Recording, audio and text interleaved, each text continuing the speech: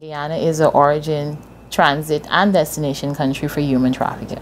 And therefore, then, the involvement of the international police officers, law enforcement agencies would go a long way in helping because oftentimes you find that the persons, if they are um, trafficked in Guyana. They come from other countries. And if we have the international officers who are involved, then it's much easier for us to be able to get the recruiters, the transporters, and so from the other countries. So I do believe that you know the international, um, the international police officers, in Interpol, would play a very crucial role in combating human trafficking, not only in Guyana but the wider world.